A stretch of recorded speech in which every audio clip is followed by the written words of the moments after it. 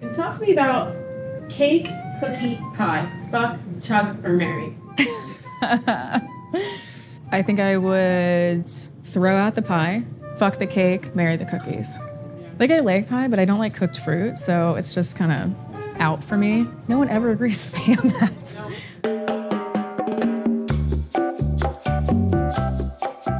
My name is Georgia Wodder. I am the executive pastry chef at Mel's and the restaurants at 85 10th. And today I'm going to be showing you how to make Italian rainbow cookies. These cookies are a traditional Italian American cookie. Typically, it is a three layer cookie. It's kind of supposed to represent the flag of Italy. It's always going to be three layers of an almond based cake with traditionally like a raspberry or an apricot jam in between. With my version, we're just doing straight up chocolate. Layers of cake with layers of chocolate and then chocolate on both sides of the top and the bottom. One of the things that I think distinguishes these rainbow cookies from other ones and kind of, in my opinion, makes them a little bit more appealing is that we make the almond paste from scratch. We're gonna take our almond flour, brown sugar, almond extract, vanilla extract, a little bit of salt for more flavor, and then honey. So the reason we're using honey is because typically in an almond paste, you would use something like a high fructose corn syrup, and I like to kind of steer clear of that. So to get a syrupy texture and kind of make it the texture that almond paste typically is, and is most used like, I like to use honey, and it also just elevates the flavor a little bit. So I'm just kind of kneading it together by hands. So it's gonna be like a little bit crumbly. All right, so this is pretty much it for the almond paste. It's kind of mashed together into a nice thick paste. So now we're gonna make the cookies themselves. Uh, we already made our almond paste, so that can go right into the bowl. We're using a stand mixer with a paddle attachment so we can cream this mixture. So the almond paste, which has to be room temperature, goes in with the sugar as well as the butter, which again, room temperature. If you don't do that, you're just bound to get more clumps in there and it's not gonna aerate properly. So start your mixer on a lower speed. As it starts to combine a little bit more, you can bump it up to a medium high speed because you want to really incorporate that air. So the reason that we're spending this time to mix the butter and the sugar together is to help to aerate the dough. The sugar kind of acts as a stabilizer and the fat from the butter traps the sugar in air bubbles. And so that's what kind of helps it stand up. You'll see when we're done whipping this, it's going to be a much lighter color. So that's kind of one of the telltale signs that it's been fully creamed. And then while that's going, I'm going to separate the eggs. Then you can just put that in the other bowl. So with this, we're just making sure that every little piece gets incorporated. You'll kind of see some darker spots around the side. So that means you have to take a moment to scrape it down so that everything can just get fully combined. And back to speed. Now it's fully creamed. It's kind of ready to go for the next step of the process. So I'm gonna add the egg yolks and the almond extract. Scrape it down, and I'm gonna stream in the milk as it's going on low speed. Now you can see that it's lighter in color, it's really fluffy, and that is an indication that it is ready to go and you're ready to do the last step in this process, which is add the dry ingredients. And then I'm gonna add the salt, the flour. Now, this part you wanna be the most careful with because you really don't wanna overdevelop the gluten, and you're gonna be mixing it more once you add the meringue anyway. I really only mix it until it's just combined. So the mixture like pulled away from the sides of the bowl, but you can still see some particles of dry ingredients in there, um, which is fine, but I don't wanna overmix it, so that's gonna be it for right now. I always lick the bowl. My mom always made brownies sugar cookies, chocolate chip cookies, but brownies especially uh, was always my brother and I would uh, definitely go in on the on the bowl. I mean, I still do.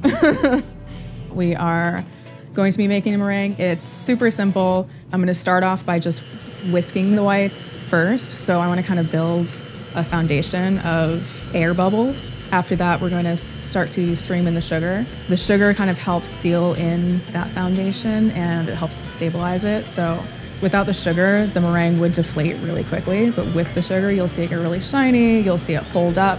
We're looking for soft peaks with this recipe. What that means is basically once you are done whisking it, when you hold up the whisk, it holds it, but it kind of flops over.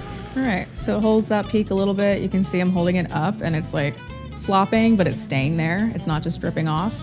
So it's almost holding, and you can see right here, it's pulled up to a peak and then flopped over.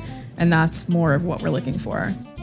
So now we're at the last step of the process for this layer specifically. So this is just the neutral layer that's in the middle. And we've got the two layers of colors. One of them's gonna be red, one of them's gonna be green. But this one we're starting off with is just the plain one. So we're gonna do those after this.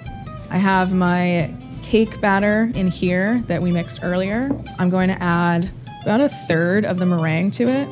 This part is kind of like a sacrifice of all your hard work because you did all that work to aerate it and now it's like you're just mashing it into the cake. But you have to do that a little bit to like actually get it combined because these two textures are so different. And so this is why we don't need to incorporate the dries all the way because there is a lot more like folding and mixing that goes into it. So this is incorporating it right now. I'm just taking my spatula and I'm kind of cutting through the center and then folding over. So that's where the fold comes in. And as I'm doing that, I'm kind of taking a second to spread it out to make sure that nothing is clumping up in here. There aren't, any like clumps of egg white. So I'm scraping around the bowl and over. And folding also is less disruptive to gluten. So it's not like you're like kneading a dough. It's not gonna develop the gluten a lot more. So you don't have to worry too much about that because, you know, after you like keep mixing and mixing once the dry ingredients are in, uh, the worry is that it's gonna get tough because you're gonna overmix it. So we're gonna take a super flat, the flattest sheet tray you have. So these layers are like pretty thin. So what I like to do is to portion it out on the sheet tray so you don't have that far to move with it. So I'm gonna start spreading it out to the corners, even it out. So I've got it to cover the whole sheet tray now. I'm just making sure that it's nice and even. So now we're gonna make the other two bases and this one's gonna go in the oven right now. All of them are gonna bake for about 22 minutes at 300 degrees. So that one's in the oven and now we're gonna make the red and the green bases and it's gonna be the same method until we get to the meringue and then we're gonna add the food coloring in the meringue. This is the second go around of the meringue. This time we're gonna be adding some red food coloring. We're not gonna get it totally red because that is way too much food coloring, but we're gonna get it like a nice bright pink. That seems to be kind of the traditional like Italian American tricolore cookie. So right now with the meringue, I have whipped it almost to soft peaks, but it's still pretty gloopy. So at this point, I'm gonna add the food coloring so that I can like try my best to gauge how much we should put in there. I would start with about seven drops or so, just to see how far that gets you, and then you can always add more after. So this is a really nice pink, but because we're gonna be folding it into the batter itself, it's gonna get a little bit diluted in there. So we wanna make it really bright, like kind of sting your eyes bright, neon. So once it's folded in, it's gonna look a little bit less crazy. Probably double the amount that I just did. So that's why we start adding the food coloring when the meringue isn't fully ready because we're gonna keep mixing it to like see if it actually looks good. So this way we won't overmix it. We're about there, I think. So same method we used before, about a third of it. We're going to add into the batter and then start folding it.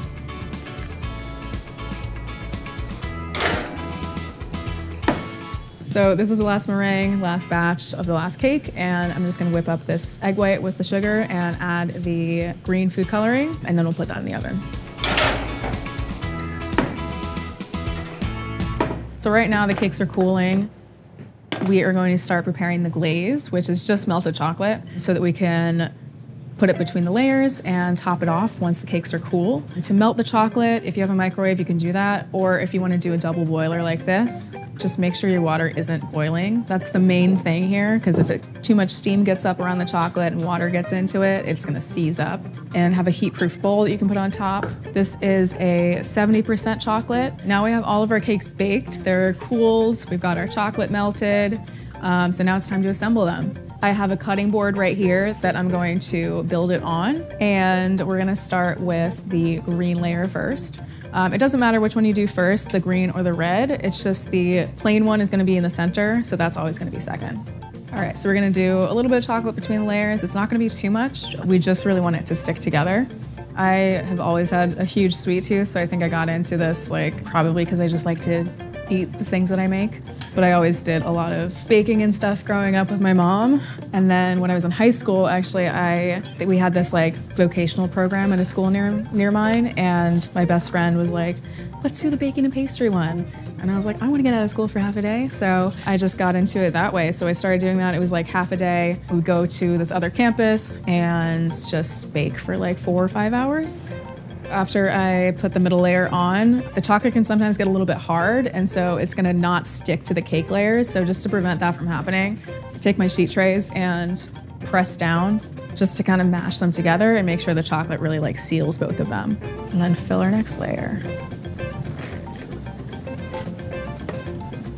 This is going to end up being the bottom of our cookies. Both sides of them are gonna get coated with chocolate. So we're just gonna do like a thinner layer on this side and it doesn't have to look super pretty because it's not gonna be the presentation side. So now that I've coated the bottom layer, we're gonna put it in the fridge just for a couple minutes so that it can harden up so that we can flip it over and then coat the top.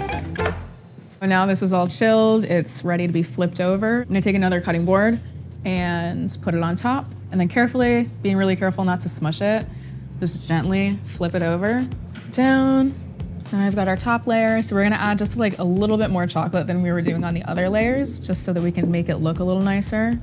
And it doesn't have to be perfect, you just wanna get it to cover all the edges. If it hangs over the edge, that's also fine because you're gonna trim off the edges.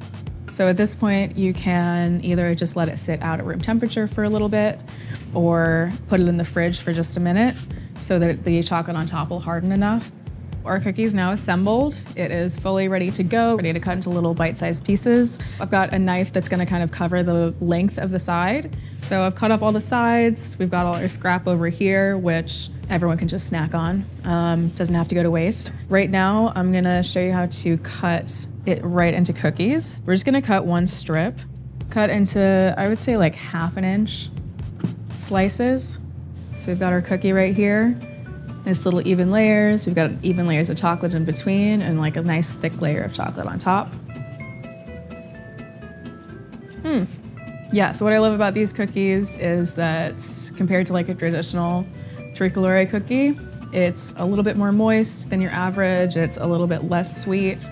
And making your own almond paste helps elevate the flavor just a little bit more, and you can control the flavor that you want a lot more, which is really nice.